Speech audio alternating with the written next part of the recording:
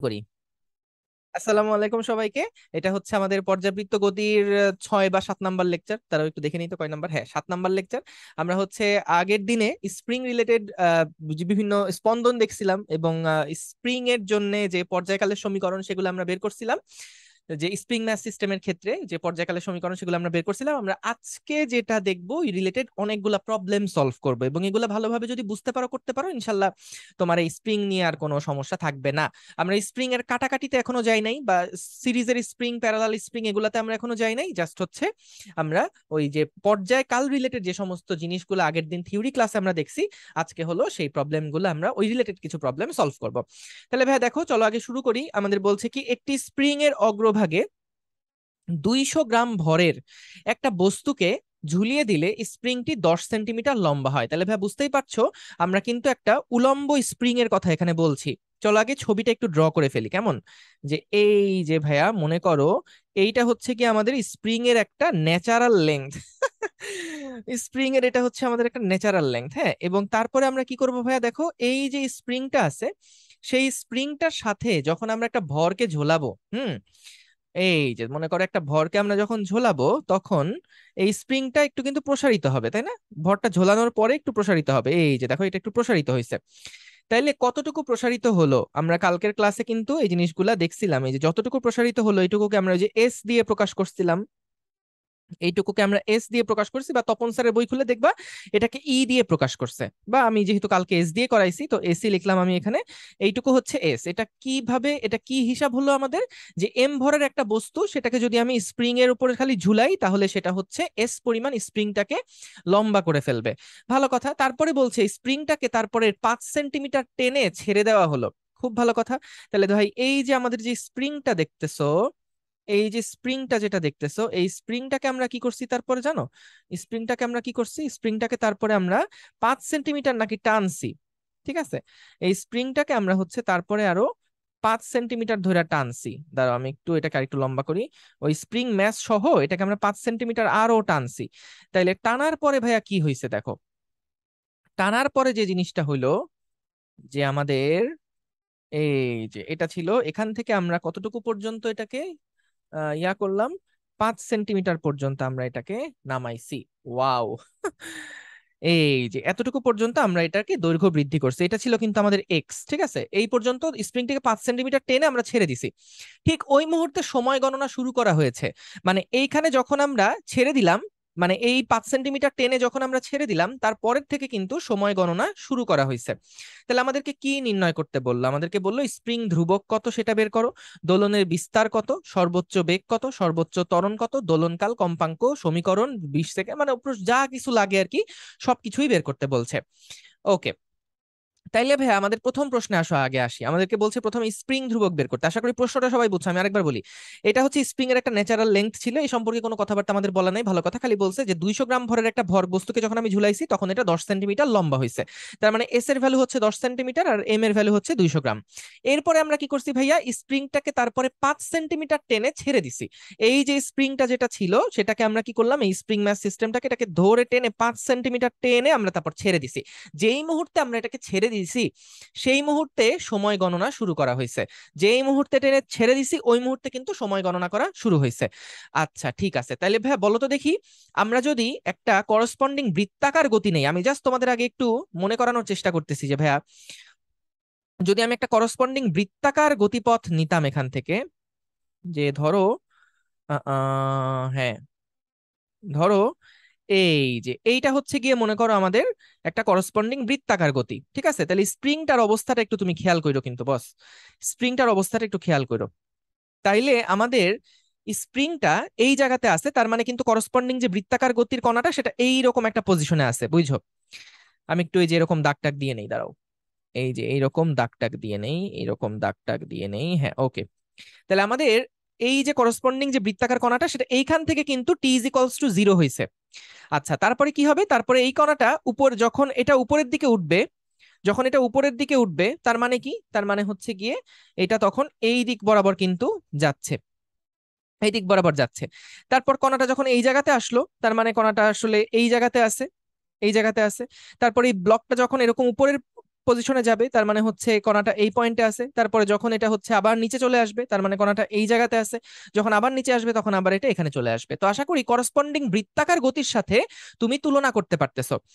তো তাহলে আমরা এখান থেকে বুঝতে পারছ যে আমাদের এই যে মোশনটা শুরু হয়েছে, যখন থেকে আমরা এটাকে টান দিয়ে ছেড়ে দিলাম, তখন কিন্তু করসপন্ডিং বৃত্তাকার গতির সাথে যদি তুলনা করো, এই যে হলুদ যে কণাটা আছে হলুদ যে কণাটা আছে, এই কণাটা কি করতেছে ভাইয়া? হলুদ যে কণাটা, সেটা কিন্তু এইভাবে করে আসলে ঘুরতেছে। ওমেগা একটা স্পিডে সেটা এইভাবে করে ঘুরতেছে।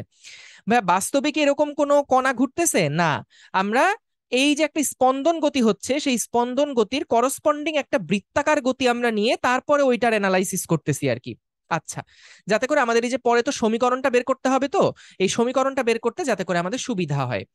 তো যা হোক, আমরা আগে চলো প্রথম থেকে প্রশ্নগুলো পড়ে আসি। প্রথমে আমাদেরকে বলল স্প্রিং ধ্রুবক বের করতে। ভাই দেখো স্প্রিং ধ্রুবক যদি আমি এখানে নিতে চাই তাহলে আমাদের এম ভরের বস্তুটাকে যখন ঝোলালাম তখন নিচের দিকে কিন্তু ভাই একটা কি বল কাজ করতেছে বলতো নিচের দিকে কিন্তু আমাদের একটা এমজি বল কাজ করছে।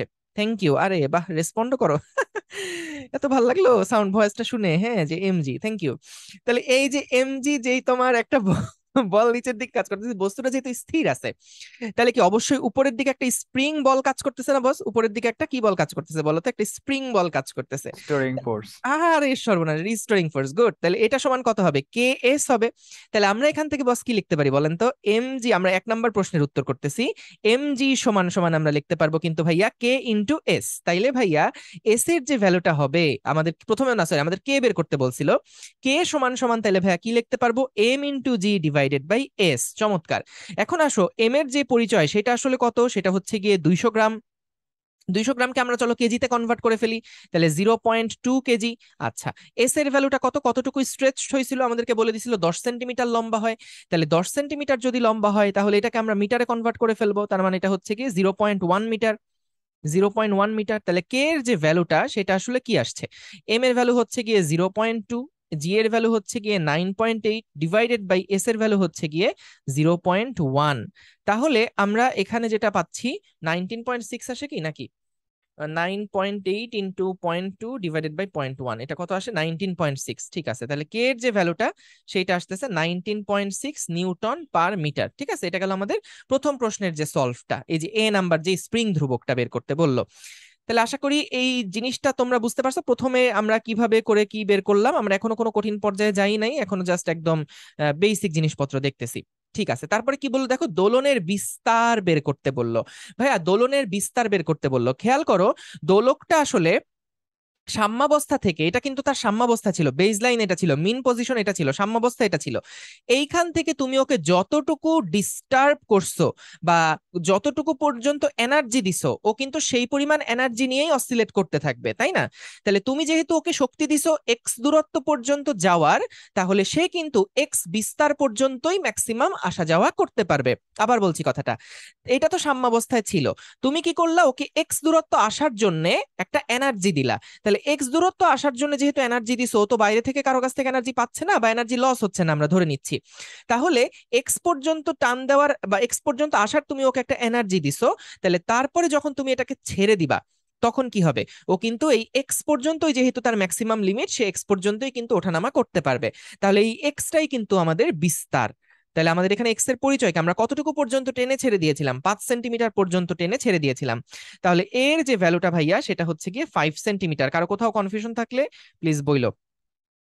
Zero point zero five metre চমৎকার।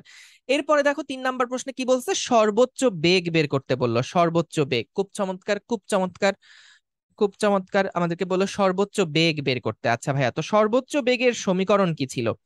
সর্বোচ্চ বেগের সমীকরণ। আচ্ছা এগুলোতে এবিসি লেখছে। আমি কেন ওয়ান টু থ্রি ফোর দিব? একটা মিনিট আমাকে একটু সময় দাও। আমি এটাকে এবিসিডি লিখতে চাই। এই যে এটা গেল আমাদের এ নাম্বার প্রশ্নের উত্তর। হ্যাঁ আবিদ বলো ভাইয়া। বি নাম্বার প্রশ্নের উত্তর। ভাইয়া যদি ভর ঝুলানো হয় তাহলে ভর ঝুলানোর পরে যতটুকু মানে প্রসারণটা হবে ওইটুক আর কি সাম্যাবস্থা ধরা হয় তাই না ভাইয়া? হ্যাঁ এটা নতুন সাম্যাবস্থান ভাইয়া। উফ তুমি এত সুন্দর প্রশ্ন কীভাবে করলা? এই যে এটা হচ্ছে ভাইয়া নতুন সাম্যাবস্থান। থ্যাংক ইউ তোমাকে। এটা হচ্ছে ভাইয়া নতুন সাম্যাবস্থান কালকেও দেখাইছিলাম কিন্তু এটা। জি ভাইয়া। থ্যাংক ইউ এগুলা ক্লিয়ার হয়ে নাও কোনো অসুবিধা নেই। প্রথম প্রথম যেহেতু এগুলো পড়তেছো এরকম কনফিউশন থাকবেই এগুলো একটু ক্লিয়ার হয়ে নাও ক্লাসের সাথে সাথে। আর এটা হুম বলো। ভাইয়া ওই উপরের ওইটা মানে দুটাই আর কি একটা সাম্য মানে সাম্যাবস্থায় তো ভাইয়া নির্দেশ করছে তাই না? এইটা কিন্তু ভর ঝোলানোর আগে স্প্রিং এর ন্যাচারাল লেংথের পজিশনটা বুঝছ? আর ভর। ঝোলানোর পরেই তো যখন টান দিলাম তখন এর স্পন্দন গতি হলো তাইলে তো এটা আমাদের নতুন সাম্যাবস্থান আমরা বাইরে থেকে ফোর্স ক্রিয়েট মানে দিয়ে যদি টান দেই তাহলে একমাত্র যে মানে স্মরণটা হবে ওইটাকে আমরা বিস্তার বা হচ্ছে। স্মরণ ওইরকম সাব্বাস। এইটাই এইটাই। যে আমরা এই যে যতটুকু নতুন সাম্যাবস্থান হয়েছে তারপরে যতটুকু টানবো মানে যতটুকু আসার জন্য এনার্জি দিব ওইটুকু এসেই কিন্তু সে আবার ব্যাক করবে। তার মানে কি ওইটাই তার বিস্তার? জি ভাইয়া ভেরি গুড। কারও কোনো ধন্যবাদ ধন্যবাদ ভাইয়া।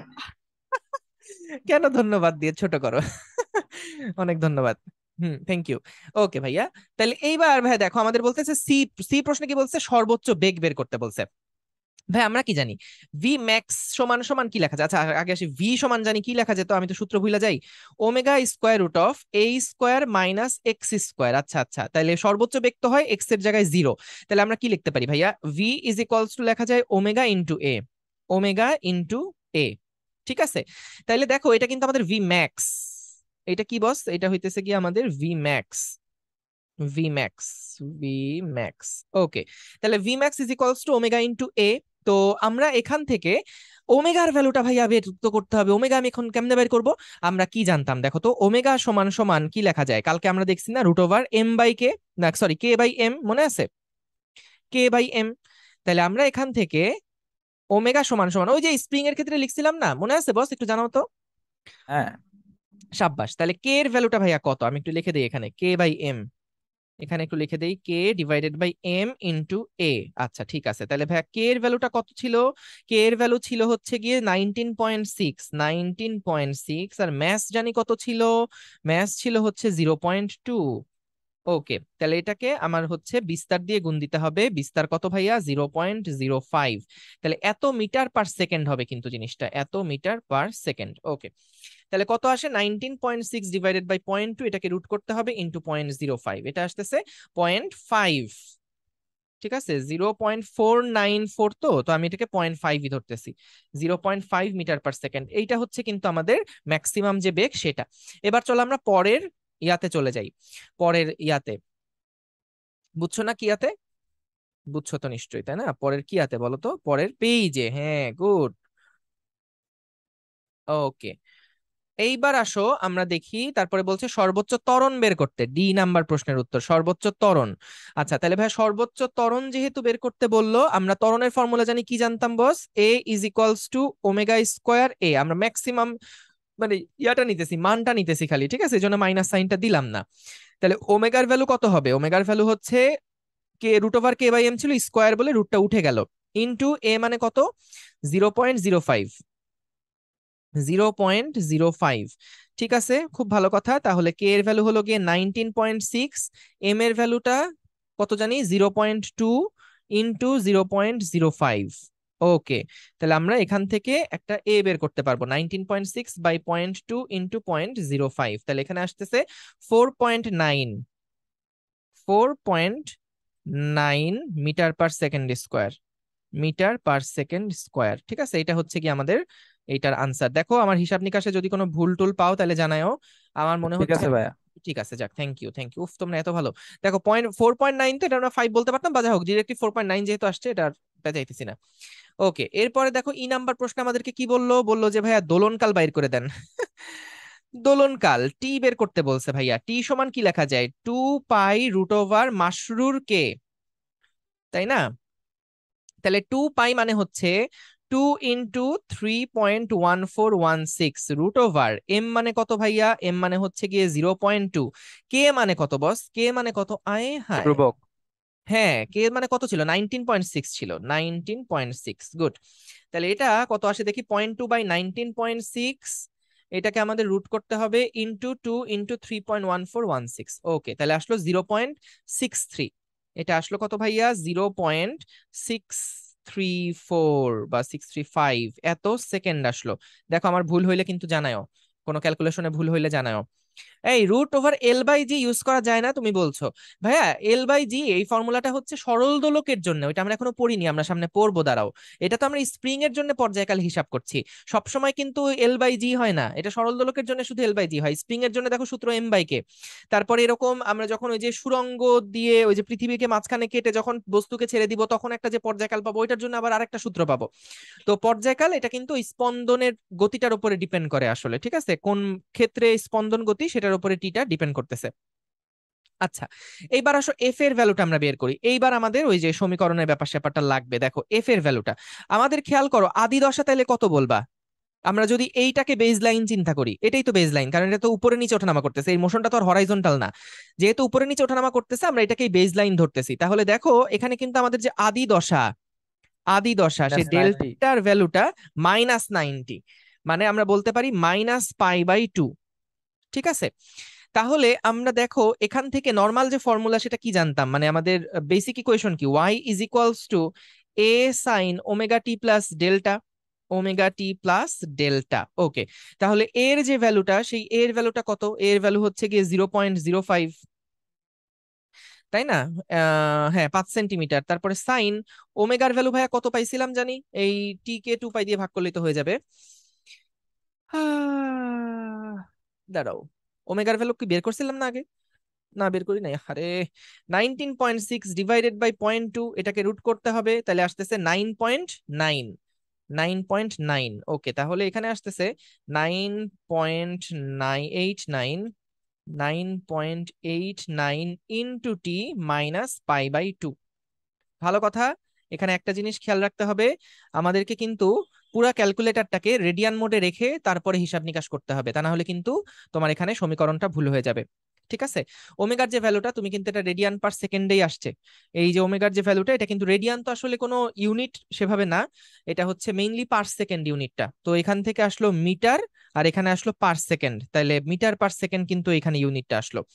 তো আমাদের এখানে এই জিনিসটা কিন্তু তোমার মানে মিটার পার সেকেন্ড আলটিমেটলি এটা কিন্তু রেডিয়ান পার সেকেন্ড ইউনিটে ছিল, এই যে রেডিয়ান পার সেকেন্ড আর এটা হচ্ছে সেকেন্ড তো এই পুরাটা রেডিয়ানে আছে, এই জন্য এটাকে রেডিয়ানে রাখলাম। ক্যালকুলেটারেও যখন তুমি রেডিয়ান মোডে রাখবা, তখন কিন্তু এখানে পাইয়ের ভ্যালুটা তোমাকে three point one four one six বসায় তারপরে করতে হবে। ওকে তাহলে এই হচ্ছে কিন্তু আমাদের ওয়াই এর যে ভ্যালুটা সেটা হচ্ছে আমরা পেলাম সময়ের সাপেক্ষে স্মরণের সমীকরণ। এই যে সময়টা চেঞ্জ হচ্ছে, তার সাথে স্মরণের যে সমীকরণটা, সেটা আমরা দেখতে পারলাম। এখন বলছে টি ইজ ইকুয়ালস টু দুইশো মিলি সেকেন্ড সময়ে বেগ কত? ভাই, আপনার আগের লেকচারগুলো দেখছিলাম, তো তাই আর কি। ও আচ্ছা আচ্ছা।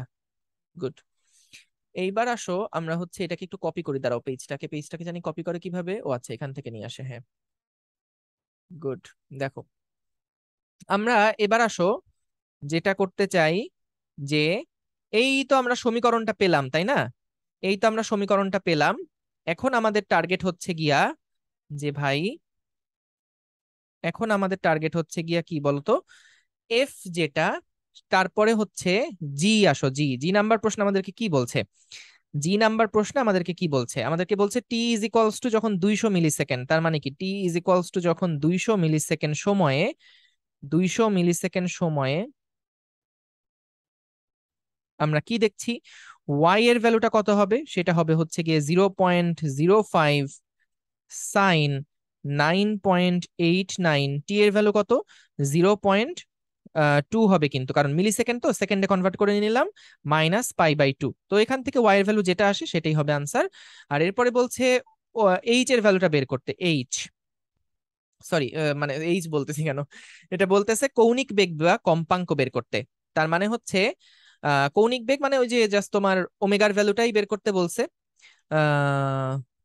এই যে তার আমাকে প্রশংসাটা পড়তে হবে। এটা তানভীর আমাকে একটা প্রশংসা করছে, বলছে, জীবনটা এত সহজ করে দিলেন ভাইয়া জাস্ট ওয়াও এত ভালো লাগে প্রশংসা পড়তে হুম। কৌণিক বেগ, দেখো, কৌণিক বেগ বা কম্পাঙ্ক। ভাইয়া, দেখো, কম্পাঙ্ক যেটা এফ সেই এফ সমান সমান আমরা কি লিখতে পারি? এফ সমান লিখতে পারি কিন্তু ওয়ান ডিভাইডেড বাই টি আর এই টি সমান কি লেখা যায়? টি সমান লেখা যায় টু পাই বাই ওমেগা তাহলে এখানে আমরা যেটা লিখতে পারি, সেটা হচ্ছে কি omega divided by two pi বা ওমেগা সমান টু পাই এফ, এভাবে তো আমরা লিখতেই পারি।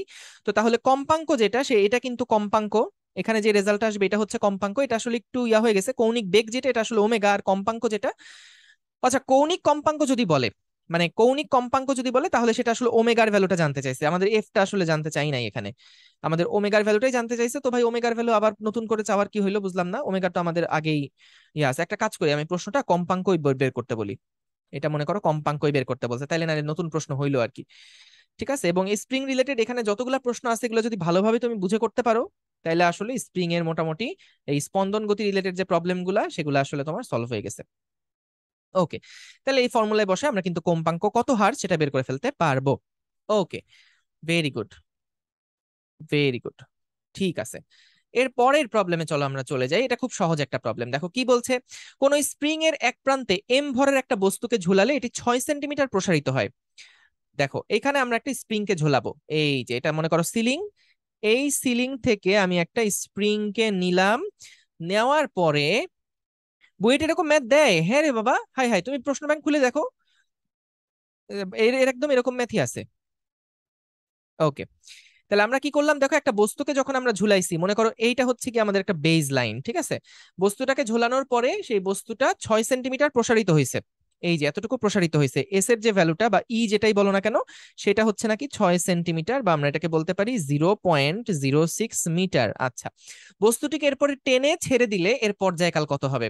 এখন ভাইয়া বলেন তো দেখি, এই যে টি এর যে ভ্যালু সেটা আমরা কীভাবে বের করব?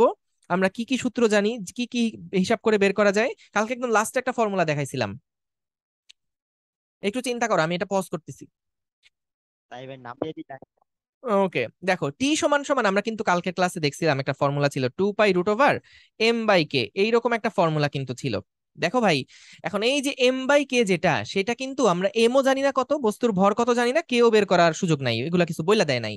কিন্তু তোমাদের অবশ্যই মনে থাকবে যে আমরা এখান থেকে কিন্তু একটা ইকুইলিব্রিয়ামে যখন এটা থাকে, তখন একটা সমীকরণ সুন্দর লিখতে পারি, সেটা হচ্ছে নিচের দিকে যখন এটা এম জি আকর্ষণ বল নিচের দিকে এম জি সেটা সমান সমান উপরের দিকে কিন্তু একটা তোমার হচ্ছে প্রত্যয়নী বল কাজ করতেছে রিস্টোরিং ফোর্স কাজ করতেছে, এবং সেটার মান কত ভাইয়া? সেটার মান কে ইন্টু এস তাহলে বস, আমরা এখান থেকে কিন্তু খেয়াল করো এম বাই কে যেটা সেটার সমান আমরা কি লিখতে পারি? এস বাই জি লিখতে পারি। তাহলে এখান থেকে কিন্তু আমাদের এস এর ভ্যালুটা দেওয়া আছে আর জি এর ভ্যালু তো আমরা সবাই জানি। তাই এম বাই কে এর জায়গায় আমরা কিন্তু এখানে এস বাই জি যেটা, সেইটাকে লিখে ম্যাথটা সলভ করে ফেলতে পারব। তাহলে এস এর যে ভ্যালুটা সেটা হচ্ছে গিয়ে জিরো পয়েন্ট জিরো সিক্স আর জি এর যে ভ্যালুটা সেই জি এর ভ্যালুটা হচ্ছে গিয়ে nine point eight nine point eight একটু দাঁড়াও, আমার একটা ফোন আসছে।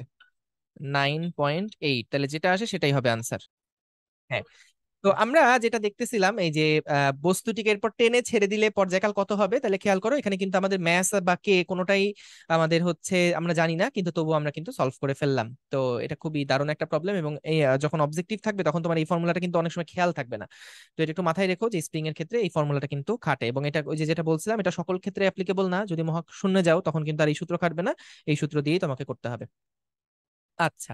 এবার দেখো পরের প্রশ্ন কি বলছে আমাদেরকে? যে উলম্ব ভাবে ঝুলন্ত একটি স্প্রিং এর উপর, আগে উলম্ব একটি স্প্রিং এঁকে নেই ইস একটা স্প্রিং আইকে নিয়ে আসলে ভালো হইতো। কিন্তু আইকে নিয়ে আসলে আমি আবার এই যে টানাটানি করতে পারতাম না। কি সুন্দর একটা ইয়া দেখছ? মানে এখানে এই এই সফটওয়্যারটা যে টানা যায়, কি সুন্দর টাইনে লম্বা করা যায়, অস্থির। উলম্ব ভাবে ঝুলন্ত একটা স্প্রিং এর উপর উপর প্রান্ত দৃঢ় অবলম্বনের সাথে আটকানো মানে এটার কথা বলতেছে যে উপর প্রান্তটা দৃঢ় অবলম্বনের সাথে আটকানো। নিচের প্রান্তে তিনশো গ্রামের একটা ভর রাখা হয়েছে। বাহ! নিচের প্রান্তে আমরা যে তিনশো গ্রামের একটা একটা ব্লককে সংযুক্ত করে করার পরে দেখা গেছে কি যে স্প্রিংটা নাকি একটু লম্বা হয়েছে। স্প্রিংটা নাকি একটু লম্বা হয়েছে। তাইলে আমরা মনে করো এইখান থেকে এই যে গেল, এটা আমাদের সাম্যাবস্থান ছিল, সেখান থেকে স্প্রিংটা একটুখানি লম্বা হয়েছে। কতটুকু লম্বা হয়েছে? বারো সেন্টিমিটার এটার প্রসারণ ঘটছে। ওকে, গুড। ব্লকটিকে আরও একটু টেনে ছেড়ে দেওয়া হয়েছে। আচ্ছা দেখো, এখানে কিন্তু আমরা একটা ম্যাথ জানি। এম যেটা, সেটা বলে দিছে হচ্ছে গিয়ে তিনশো গ্রাম বা এটা হচ্ছে গিয়ে জিরো পয়েন্ট থ্রি কেজি। আমরা সব এসআই ইউনিটে একবারে কনভার্ট করে ফেলব। আমি যেহেতু তোমাদেরকে দেখাচ্ছি, এই কারণে আমি এগুলা লিখতেছি। কিন্তু তুমি যখন প্রশ্ন সলভ করবে, তখন ডিরেক্টলি বারো সেন্টিমিটার না লিখে একবারে zero point one two metre লিখে দিবা। ঠিক আছে? আচ্ছা তাহলে বলছে ব্লকটিকে আরেকটু টেনে ছেড়ে দিলে দোলনকাল কথা হবে? সি সি সি। অঙ্ক কেন এতক্ষণ পড়লাম করলাম কষ্ট করে? টি সমান সমান তো ভাইয়া two pi root over Mashrur K Mashrur K এই যে, তাহলে এখান থেকে আমরা কিন্তু two pi root over M যেটা, সেই এম হচ্ছে গিয়ে জিরো পয়েন্ট থ্রি আর কে যেটা, সেটা হচ্ছে গিয়ে zero point one two okay zero point one two তাহলে এখান থেকে আমরা কিন্তু, এই সরি কি করতেছি সাতার মাথা? এম বাই কে না, তাহলে কে তো বের করতে হবে ভাইয়া। কে তো বের করতে হবে।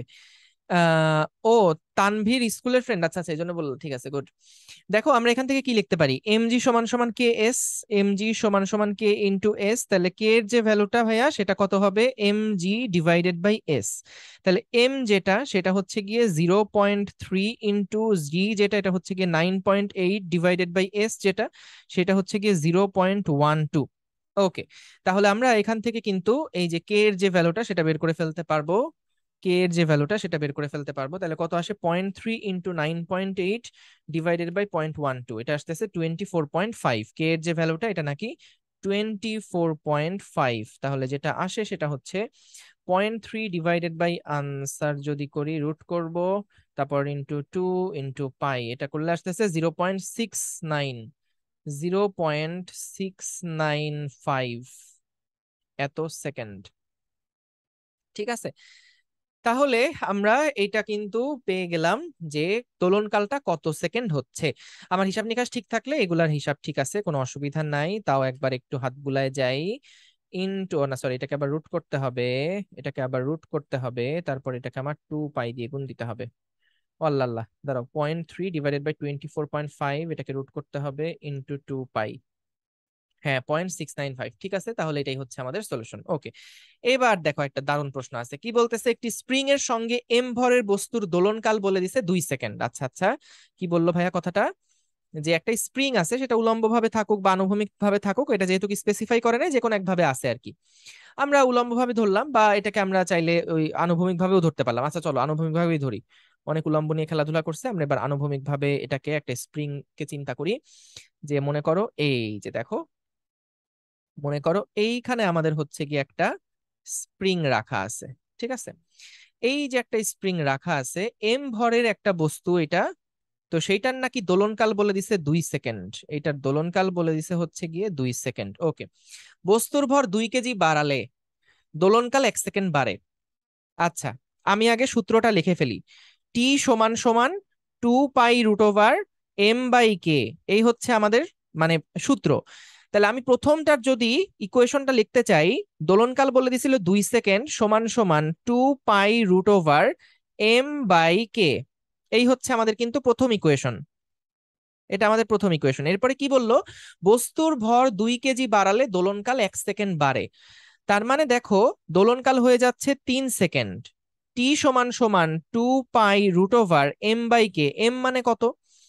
এম মানে কত? এম মানে হচ্ছে গিয়ে তোমার এখন দুই কেজি বাড়াইছি যেহেতু, তাই এম প্লাস টু হবে ডিভাইডেড বাই কে হবে। তাহলে প্রাথমিক ভর এম কত সেটাই বের করতে বলছে, এটা হচ্ছে কি আমাদের দুই নাম্বার ইকুয়েশন এটা হচ্ছে কি আমাদের দুই নাম্বার ইকুয়েশন ওকে, তাহলে আমরা এখন আমাদের কি বের করতে বলছে? প্রাথমিক ভর এম ক্যাপিটাল এম যেটা ওইটাই বের করতে বলছে। তো আমরা একটা কাজ করি ভাগ করে দেই। এক নাম্বার ইকুয়েশনকে দুই নাম্বার ইকুয়েশন দিয়ে ভাগ দিয়ে দেই, তাহলে কত আসতেছে? এখানে আসতেছে হলো গিয়ে দুই ডিভাইডেড বাই তিন সমান সমান আসতেছে হচ্ছে গিয়ে তোমার হচ্ছে গিয়ে M divided by M plus two সম্ভবত এটাই আসতেছে। আমি কি ভুল লিখলাম? দেখো তো বস এই যে দুই নাম্বার দাদা দাদা হ্যাঁ ঠিক আছে না বস ঠিক আছে। তাহলে এটাকে যদি আমি স্কোয়ার করি, তাহলে হবে দুই দুগুণে চার, তিন তিরিকে নয় সমান সমান M divided by M plus two এর পর এম এর যে ভ্যালু আসে সেটাই বের করে দেখবা ভাই কত আসে। ফোর এম প্লাস চার দুগুণে আট সমান সমান নয় এম তাহলে এখান থেকে যেটা আসে সেটা হচ্ছে গিয়ে ফাইভ এম সমান সমান হলো গিয়ে এইট তাহলে ম্যাস যেটা, সেটা হচ্ছে গিয়ে আট বাই পাঁচ, এত কেজি ঠিক আছে? এটাই হচ্ছে আমাদের প্রাথমিক ভর। দেখো আমি হিসাব ঠিক থাকলে ভাইয়া ঠিক আছে সবকিছু। এম বাই তাহলে ফোর এম প্লাস হচ্ছে গিয়ে চার দুগুণে আট নাইন এম তাহলে এখান থেকে নাইন এম থেকে ফোর এম বাদ দিলে থাকে ফাইভ এম তাই না? হ্যাঁ ভাইয়া। এম সমান সমান তাহলে হচ্ছে হ্যাঁ ঠিক আছে।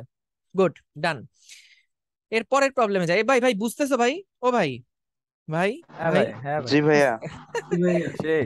তোমরা এত এত এত এত ভালো বুঝো। হুম আমার খুব ভালো লাগে। থ্যাংক ইউ আচ্ছা এইবার আসো আরেকটা প্রবলেম নগণ্য ভরের একটা স্প্রিং এর নিচে এম ভর ঝোলালে এটির সরল দোলগতির পর্যায়কাল হয় টি তো ভাই আগে আমি সূত্র লিখে ফেলি যে টি নাকি হয় পর্যায়কাল কখন? যখন আমরা এম ভরের একটা ভরকে ঝুলাই এম ভরের একটা বস্তুকে ঝুলাই যখন আমরা এম ভরের একটা বস্তুকে ঝুলাবো এম বাই কে মাসরুর কে আচ্ছা স্প্রিং কিন্তু চেঞ্জ করছি না। আরও এম ভর যোগ করলে পর্যায়কাল হয় এত। বাহ! আরও এম ভর যোগ করলে নতুন যে পর্যায়কাল হয়, সেটা নাকি হয় five T divided by three সমান সমান, এখানে আসতেছে হচ্ছে গিয়ে two pi root over M মানে কত? এম মানে হচ্ছে আরও এম ভর যুক্ত করব, তার মানে M plus small M divided by K okay দুইটা ইকুয়েশন পেলাম। তো ভাই, এটা তো আগের অঙ্কের মতনই জাস্ট ভাগ দিয়ে দিব আর কি। এটা এক নাম্বার ইকুয়েশন এটা দুই নাম্বার ইকুয়েশন এরপর আমরা এক নাম্বার ইকুয়েশনকে দুই নাম্বার ইকুয়েশনটা দিয়ে যদি ভাগ দেই তাহলে ভাইয়া কত আসে? Three by five three by five সমান সমান আসতেছে হলো root over capital M divided by M plus small M আমি কি ভাইয়া ভুল টুল লিখতেছি নাকি? ওয়ান বাই টু করলে টু পাই টু পাই কাটা এমটা উপরে থাকবে নিচে ভাইয়া। এম ঠিকই আছে ভাই তাই না? থ্যাংক ইউ উফ তোমরা এত জোস। এই যে সাপোর্ট দাও ভুল বললেও বলবা। না ভাইয়া ঠিকই লিখছেন আরে। আপনি কি ভাইয়া ভুল করতে পারেন বলেন। হ্যাঁ এরকম সাপোর্ট দিয়ে দেবে। আরে না ভাইয়া ঠিক আছে। আর এগুলা ভুল তো আপনি করতেই পারেন। এটা আমাদের দোষ যে আমরা কেন ধরলাম না? হ্যাঁ আমরা কেন নিজেদের খাতা ঠিক করলাম না? বোর্ডের দোষ। হ্যাঁ হ্যাঁ। কার দোষ? বোর্ডের দোষ। আচ্ছা স্কোয়ার করি। তিন তিরিকা নয় পাঁচ পাঁচে পঁচিশ। তাহলে এইটা যদি হয় ভাইয়া তাহলে এখানে আসতেছে capital M divided by capital M plus small M আচ্ছা এখন ভাইয়া কি করব বলো তো দেখি? এটাকে ওই যে যোজন বিয়োজন করা যাবে নাকি? ওই যে একটা খালি বিয়োজন করলে মনে হয় কাহিনী হবে না? বা কিছু একটা? আচ্ছা যাই আমরা কনভেনশনাল নিয়মে যাই। এটা হয়তো আরও সুন্দর নিয়ম কানুন থাকতে পারে। আমরা আগে ক্যাপিটাল এম স্মল এম এভাবে করে লিখে তারপরেই যাই, এত ঝামেলা করে লাভ নাই, যদি ভুল যায়। তাহলে এখানে হচ্ছে সিক্সটিন ক্যাপিটাল এম সমান সমান নাইন ইন্টু স্মল এম তাহলে ভাইয়া আমাদের বলছি small M by capital M কত সেটা বের করতে? তাহলে এটা সমান সমান হবে হচ্ছে গিয়ে ষোলো বাই নয় ষোলো বাই নয় অর্থাৎ এই তো অর্থাৎ কি আর? এটাই। ষোলো বাই নয় এটাই হচ্ছে আনসার দেখো তো ভাই আমার হিসাব নিকাশ ঠিক থাকলে এটাই আনসার আর কি।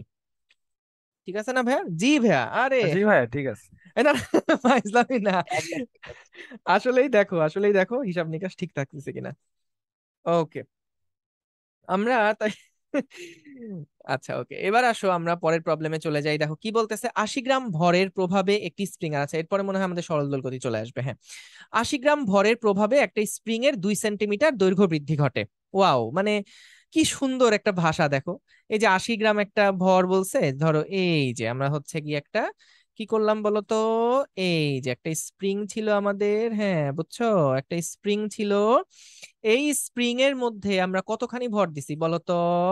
আমরা ভর দিছি হলো আশি গ্রাম, বুঝছ? এই যে দেখো, আশি গ্রাম আমরা একটা ভর দিছি, বুঝছ? এই আশি গ্রাম ভর দেওয়ার পরে দুই সেন্টিমিটার এটার নাকি দৈর্ঘ্য বৃদ্ধি হয়েছে, বুঝছ? এই যে দেখো, এতটুকু নাকি এটা দৈর্ঘ্য বৃদ্ধি হয়েছে, বুঝছ? এই যে দেখো ভাইয়া, দুই সেন্টিমিটার হয়েছে ঠিক আছে? তাহলে আশি গ্রাম যদি হয়, এটার ম্যাস তাহলে আশি গ্রাম মানে হচ্ছে গিয়ে, এই যে কত কত কি, কেজি তাইলে ভাই এটা? Zero point zero eight KG. আর কত সেন্টিমিটার বলো তো? Zero point zero two metre. আচ্ছা তাহলে দৈর্ঘ্য বৃদ্ধি করে। ওই স্প্রিং এর মুক্ত প্রান্তে ছয়শো গ্রাম ভরের একটা বস্তুকে সংযোগ করতে হবে। ওই মিয়া ফাইজলামি নাকি? একবার ভর যুক্ত করলাম। ও আচ্ছা আচ্ছা আচ্ছা আচ্ছা আচ্ছা দেখো দেখো। খুব সুন্দর প্রশ্ন।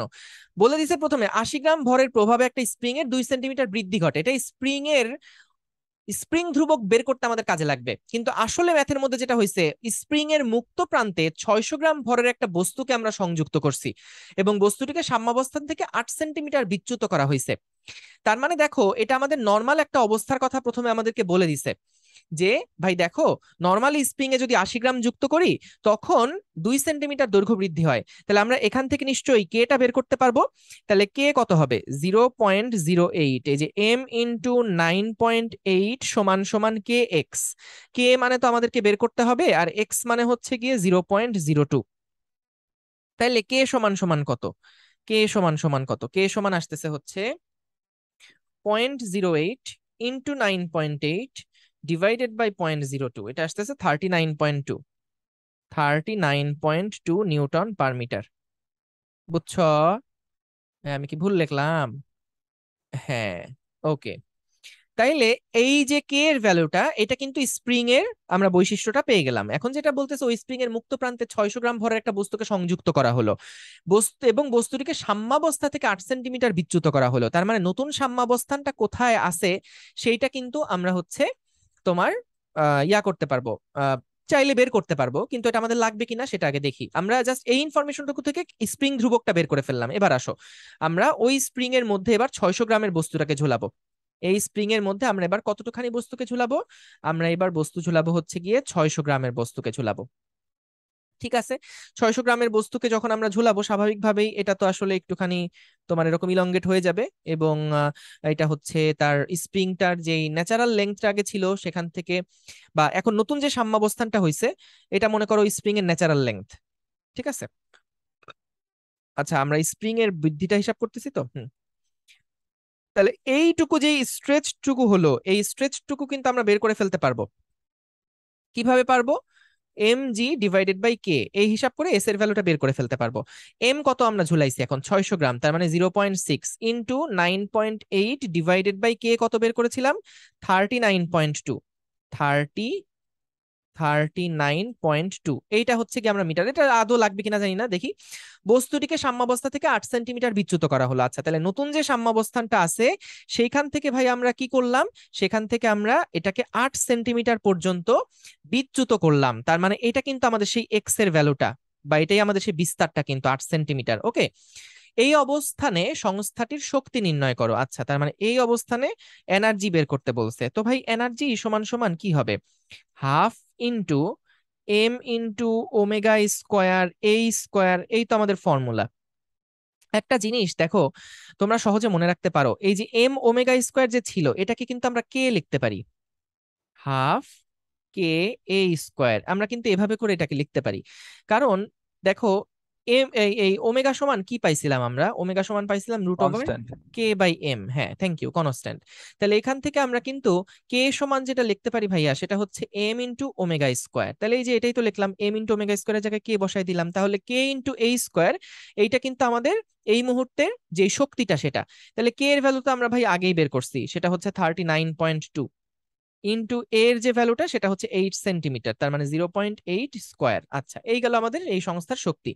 এখন বলছে, শক্তি সংক্রান্ত বিবেচনা থেকে বস্তুটি সাম্যাবস্থা থেকে যখন চার সেন্টিমিটার দূরত্বে থাকবে মানে ধরো এইরকম একটা অবস্থায় যখন সেটা থাকবে, সাম্যাবস্থান থেকে চার সেন্টিমিটার দূরে যখন থাকবে, তখন এর বেগ কত হবে নির্ণয় করো। তাহলে আমরা ভাইয়া গতিশক্তির ফর্মুলাটা থেকে বের করে আসতে পারি, যে গতিশক্তি জানি কীভাবে বের করা শিখছিলাম আমরা অবশ্যই তোমাদের মনে আছে, যে হাফ এম ভি স্কোয়ার যে কোনো মুহূর্তের হাফ এম ভি স্কোয়ার এইটা সমান সমান, বা আমি জাস্ট গতিশক্তি হ্যাঁ ঠিকই আছে হাফ এম ভি স্কোয়ার এইটা সমান সমান কি লেখা যায়? হাফ ইন্টু কে ওই A square minus X square মানে হাফ কে স্কোয়ার আমাদের টোটাল এনার্জি আর হাফ কে এক্স স্কোয়ার হচ্ছে এই চার সেন্টিমিটার বৃদ্ধিতে, বা বৃদ্ধিরত অবস্থায়, ওর যেই তোমার স্থিতি শক্তিটা তাহলে টোটাল এনার্জি থেকে যখন স্থিতি শক্তি বাদ দিচ্ছি এটা আশা করি বুঝছ তোমরা বুঝছ না ভাইয়া? হ্যাঁ। যেটা কেমনে আসলো যে হাফ কে এ স্কোয়ার থেকে আমরা বাদ দিতেছি হাফ কে এক্স স্কোয়ার যেখানে এটা হচ্ছে স্থিতিশক্তি এটা হলো টোটাল এনার্জি আর এটা হচ্ছে আমাদের গতিশক্তি এটাকে আমি হাফ এম ভি স্কোয়ারের ফরম্যাটে লিখলাম। তাহলে ভাইয়া দেখো এখান থেকে কিন্তু ভিটা ইজিলি আমরা বের করে ফেলতে পারব। তোমরা হাফ হাফ গুলাকে সব কাটাকাটি করে দাও। এখানে হচ্ছে সবগুলাই তোমার কে বাই এম চলে আসতেছে। তাহলে আমি যদি ভি স্কোয়ারটা লিখি এভাবে করে ভাইয়া তাহলে যেটা আসতেছে K by M K by M A square minus X square ওই সূত্রই কিন্তু, দেখো যে এটা কিন্তু ওমেগা স্কোয়ার ছিল। তাহলে omega square A square minus X square তো আমি যদি রুট করি মানে ভি যদি বের করতে চাই, তাহলে এটাকে আমাকে রুট করতে হবে। এই যে, এই পুরা জিনিসটাকে আমাকে রুট করতে হবে। তাহলে যেটা আসে সেটাই হচ্ছে আমাদের ওই চার সেন্টিমিটার দূরত্বে যে বেগটা, সেটাই আমরা পাবো। কে এর মান তুমি জানো? কে এর মান হচ্ছে থার্টি নাইন পয়েন্ট টু তারপরে এম এর মান তুমি জানো? এম হচ্ছে গিয়ে ছয়শো এম হচ্ছে গিয়ে ছয়শো। আমি একটু ভ্যালুগুলো এখানে লিখে দিই দাঁড়াও এক পাশে কে সমান হচ্ছে thirty nine point two newton per metre, তারপরে এম এর যে ভ্যালুটা সেটা হচ্ছে গিয়ে ছয়শো গ্রাম বা জিরো পয়েন্ট সিক্স কেজি। আচ্ছা তারপরে হলো এর ভ্যালু যেটা, সেটা কত? এটা আট সেন্টিমিটার। এটা হচ্ছে গিয়ে আট সেন্টিমিটার বা আমি এটাকে এককটা ওভাবে লিখলে এস এসআই এককে জিরো পয়েন্ট এইট মিটার এবং এক্সের যে ভ্যালুটা ভাইয়া, সেই এক্সের ভ্যালুটা কত? এক্সের ভ্যালু হচ্ছে zero point zero four metre. এই ভ্যালুগুলো আমি যদি এখানে বসাই, তাহলে কিন্তু আমার রেজাল্ট বের হয়ে চলে আসবে। আশা করি বুঝতে পারছ।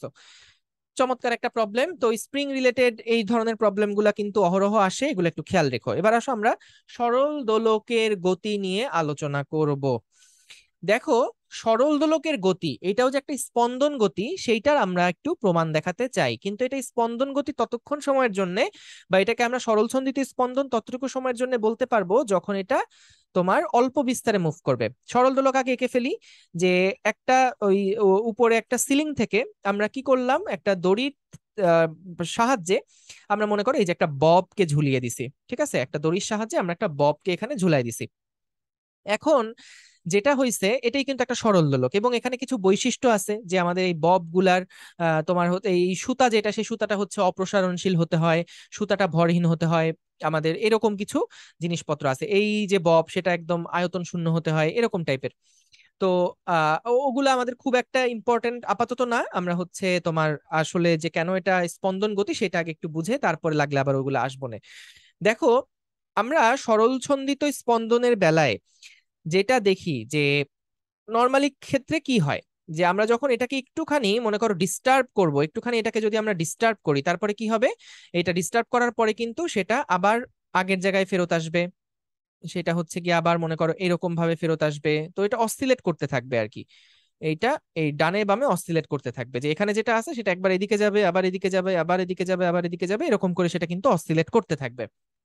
তো তাহলে এইটা যদি এরকম অসিলেট করতে থাকে, তাইলে আমাদের যেটা বের করতে হবে যে, এই মোশনটা যে সরলছন্দিত গতি, সেটা আমাদেরকে প্রমাণ করতে হবে। তো ভাইয়া, কোনো গতি কি সরলছন্দিত গতি কিনা? সেটার জন্য শর্ত কি? যে, ওই সিস্টেমের যেই ত্বরণটা, সেটা কি আসলে ওই সাম্যাবস্থান থেকে সরণের সমানুপাতিক হচ্ছে কি হচ্ছে কিনা? এবং আমাদের ওটা তোমার দিকটা বিপরীত হচ্ছে কিনা? এই জিনিসটা যদি আমরা প্রুফ করতে পারি, তাহলে আমরা বুঝতে পারব যে হ্যাঁ ভাই, এই গতিটা একটা সরলছন্দিত গতি। তাহলে দেখো, আমরা এটাকে প্রথমে কি করব? প্রথমে আমরা চলো, আমরা যে কোনো জিনিসকে যদি প্রুফ করতে চাই সরলছন্দিত গতি কিনা, আমি কালকে কয়েকটা স্টেপ দেখাইছিলাম। চলো আবারও আমরা ওই স্টেপগুলো ফলো করি। প্রথম যেই ধাপ ছিল, প্রথম যেই ধাপ, সেই প্রথম ধাপে আমরা কি করতাম?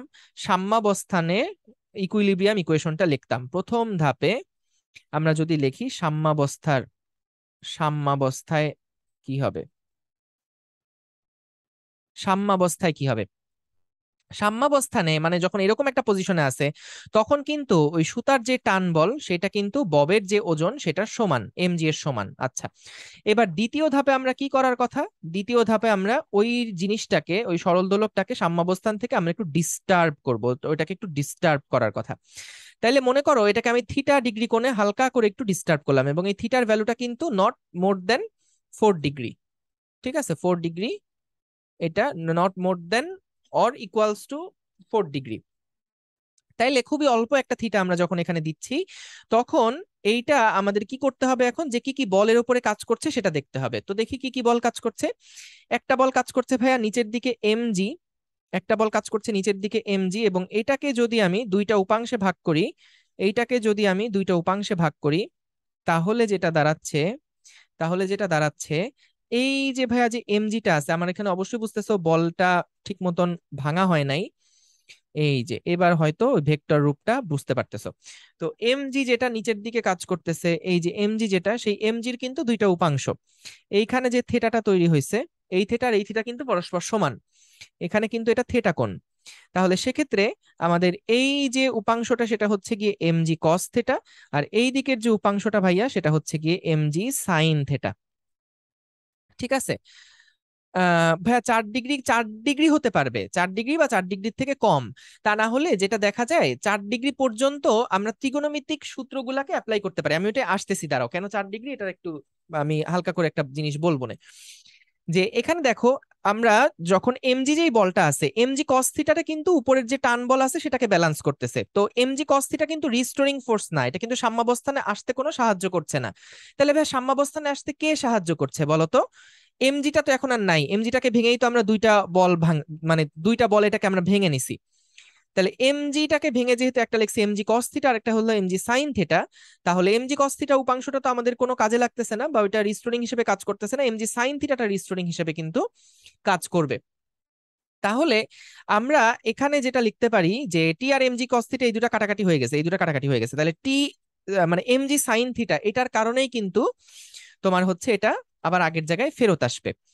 তাহলে আমরা এখানে যেটা বলতে পারি যে এফ যেটা আছে, যে যতগুলো বল কাজ করছে, সেই এফ সমান সমান আমরা লিখতে পারি M G sine theta M G sine theta আচ্ছা এখন ভাইয়া দেখো তো, আমরা সাইন থিটা সমান কি লিখতে পারি? যদি এটা একটা সরল রেখার মতন তুমি চিন্তা করো, তাহলে দেখো তো সাইন থিটা খুবই ক্ষুদ্র হলে থিটা ক্ষুদ্র হলে থিটা খুবই ক্ষুদ্র হলে থিটা খুবই ক্ষুদ্র হলে আমরা কি লিখতে পারি? ক্ষুদ্র হলে সাইন থিটা আর থিটা এটা আসলে পরস্পর সমান। আর S is equals to R theta আমরা জানি। তাহলে এখানে এস যেটা, সেটা হচ্ছে কি এক্স এই যে তুমি এটাকে একটা বৃত্তাকার পথ চিন্তা করো, এটাকে একটা বৃত্তাকার পথ চিন্তা করো। তাহলে সেক্ষেত্রে কিন্তু এই যে এটা হচ্ছে কি আমাদের এস এই যে এটা হচ্ছে কি আমাদের S is equals to R theta তাহলে আমি ওই সূত্র লিখলে কি হবে? এক্স ইজ ইকুয়ালস টু আমাদের কার্যকরী দৈর্ঘ্য যেটা এল সেই এক্স ইজ ইকুয়ালস টু হয়ে যাচ্ছে R theta L into theta এটা হয়ে যাচ্ছে কিন্তু। ভাইয়া এল এর পরিচয়টা কি? এল হচ্ছে আমাদের সুতার দৈর্ঘ্য আর হচ্ছে ববের ব্যাসার্ধের যোগফল। মানে ক্যাপিটাল এল যেটা, সেটা হচ্ছে গিয়ে সুতার দৈর্ঘ্য স্মল এল প্লাস হচ্ছে ববের ব্যাসার্ধ আর এই দুইটার যোগফলের সমান। আচ্ছা তাহলে দেখো আমি S is equals to R theta থেকে থিটার যে ভ্যালুটা লিখতে পারি সেটা হচ্ছে গিয়ে এক্স ডিভাইডেড বাই এল তাহলে আমাদের থিটার যে ভ্যালু সেটা হচ্ছে গিয়ে এক্স ডিভাইডেড বাই এল যদি আমি লিখি, তাহলে সাইন থিটাকে রিপ্লেস করে আমরা কিন্তু পাবো হচ্ছে গিয়ে X divided by L X divided by L তাহলে এটা হচ্ছে কিন্তু আমাদের এফ সমান সমান M G into X divided by L আচ্ছা এখন কথা হচ্ছে ভাইয়া, এইখানে আমাদের এফ সমান কি লেখা যায়? এম এ লেখা যায় এম এ সমান সমান মানে আমরা তো সামেশন অফ এফ ফি লিখতেছি, যতগুলা বল কাজ করছে সে নেট ফোর্স সমান সমান এম এ লেখা যায়। এম এ সমান সমান আমরা লিখলাম M G X divided by L খেয়াল করো এম এম কাটাকাটি হয়ে গেল, তাহলে এর যে ভ্যালুটা সেই এর ভ্যালুটা কত আসতেছে?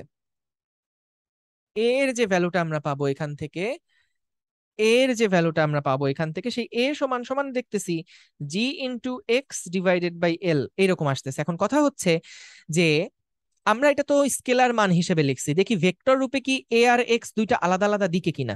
খেয়াল করো, এর যে ত্বরণের যে ডিরেকশনটা সেই ত্বরণটা কোন দিকে হচ্ছে? বস্তু যদি এই পাশে থেমে তারপর আবার এই দিকে যাওয়া শুরু করে, তার মানে ত্বরণটাও কিন্তু এই দিক বরাবর কাজ করতেছে। আর স্মরণ সবসময় আমরা কোত্থেকে হিসাব করি? সাম্যাবস্থান ছিল এটা, সাম্যাবস্থান থেকে কিন্তু স্মরণটা হিসাব করি। তার মানে দেখো এ আর এক্স দুইটা আলাদা আলাদা দিকে কাজ করছে। তাই আমি যদি ভেক্টর আকারে এটাকে লিখি, তাহলে কিন্তু আমরা এখানে একটা মাইনাস সাইন দিয়ে তারপরে লিখতে হবে।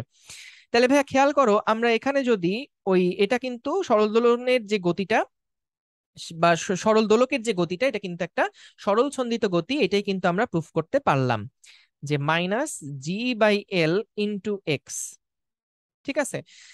তাইলে এইটা কিসের মতন হয়ে গেল? সমীকরণটা হয়ে গেল হচ্ছে কি যেরকম A is equals to minus omega square X তার মানে আমরা বলতে পারি এই সরল দোলক গতির যেই ওমেগার ভ্যালুটা, সেই ওমেগা সমান সমান হচ্ছে root over G divided by L তাহলে আমি যদি এখানে পর্যায়কাল বের করতে চাই তাহলে পর্যায়কাল সমান কি হবে? Two pi root over L divided by G তাইলে এটা গেল আমাদের সরল দোলকের জন্য যেই তোমার পর্যায়কালের সমীকরণ। এখন ভাই এখানে একটা বিষয় আছে যে চার ডিগ্রির কথা যেটা বলতেছিলাম, এই যে আমরা লিখলাম থেটা খুবই ক্ষুদ্র হলে সাইন থিটাকে থেটার সমান লেখা যায়।